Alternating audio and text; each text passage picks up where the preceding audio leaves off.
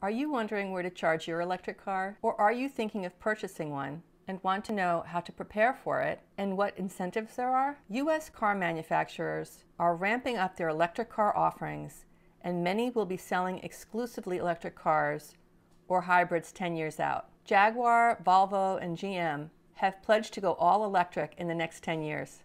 Today I'm going to talk about charging in New Jersey and how it relates to real estate.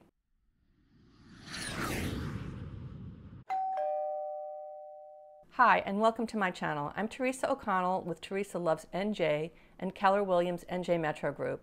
If you're new to my channel, I like to share information about communities and real estate topics. Let's get started on electric car charging. I wanted to share this information because I recently met someone at an open house and they were asking me if there were any chargers in the condominium development. Well, there weren't. And my research into Bergen County revealed that there are a few on-site options other than public charging stations. Let's delve a little deeper. There are three charging level options. The least expensive option is level 1. All that is needed is a 120 volt AC plug and a dedicated branch circuit, along with a level 1 EVSE cord set a standard three-prong household plug on one end and a J1772 connector on the other end, this level charges between 2 and 5 miles per hour. For level 2, a 240 volt AC plug is needed along with a dedicated electrical circuit of 20 to 100 amps, similar to what you would have for a clothes dryer or electric range, and requires an SAE J1772 connector. Most public chargers are level 2.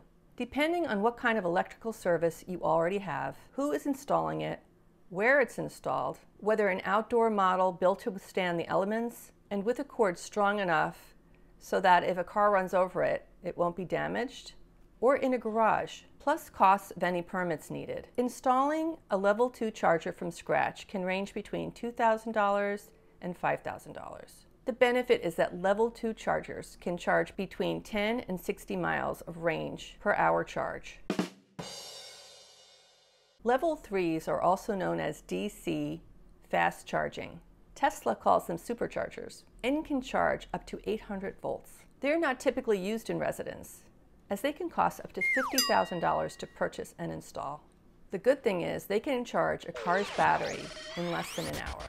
For condo owners or tenants, in a large development or multifamily housing, the options are less convenient. If the association or the landlord does not have chargers on site, then the car owner will have to rely on publicly available charging stations. On a recent Sunday, I visited eight level 2 and one level 3 charging stations, and this is what I found. There were two near housing developments, two chargers in Englewood South next to the Vivian condos on Route 4 in the Panera parking lot five chargers in Englewood North in a municipal parking lot on South Dean Street, close to several housing developments, and free parking after 6 p.m. Both had availability midday on a Sunday. There were two in shopping center parking lots. Closter Plaza had two spaces, and both were being used. Paramus Park had multiple options, and all were available, four on the Route 17 side. These are good options if you want to do some shopping, see a movie, or go out for a meal and charge your vehicle at the same time. There were two car dealerships, BMW and Tenafly with two chargers, and then there's the Tesla Supercharger on Route 17 with eight ports. Unique to Tesla and currently not available for J1772 adapters. The cost to charge is charged to your Tesla account. All were in use on a Sunday with two cars waiting. The bright spot at a supercharging station is that a car can get a full charge in less than an hour. So if a car owner is willing to wait, a spot will open up. One was at the Fort Lee Parking Authority with two connectors. Charging was free, but there may be a charge to park. One was being used on a Sunday. There were four Tesla ports in the parking lot of a bike shop in Fort Lee on Hudson Terrace. There was one open parking space. The three other spaces were taken up by non-electric cars and blocked access. Oops, note to those owners. Please be considerate and park on the street and keep those spaces open. How did I know that they weren't electric cars? For one, electric cars don't have grills in the front. They also don't have an inspection sticker in New Jersey because they do not produce emissions. And lastly, in Oradell, in a public lot on Oradell Avenue, there were four level 2 chargers and all were available. Will this scarcity endure? Doubtful, as the New Jersey governor's goal is to have 330,000 electric vehicles on the road by 2025. PSE&G announced in January that it will invest $166 million in infrastructure over the next six years. How does this affect real estate? Clearly, electric cars are the future and will reduce pollution and, in the long run, healthcare costs. If you've just purchased a home and are updating your electric, make plans to accommodate the needs of an electric vehicle. It will be good for resale and also for the homeowner that stays in the home who may eventually purchase an electric car. If you're a commercial or residential landlord, check out programs to assist with infrastructure.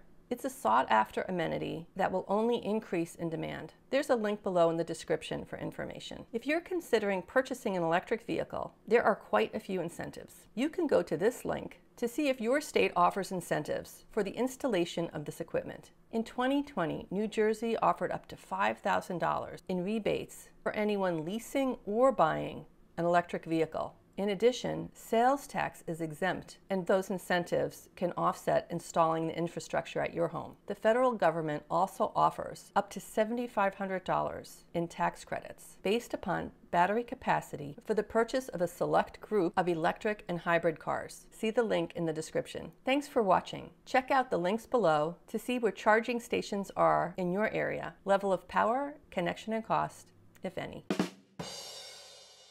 If you're interested in exploring real estate or know someone who is, please get in touch. If you'd like to see more videos, please subscribe.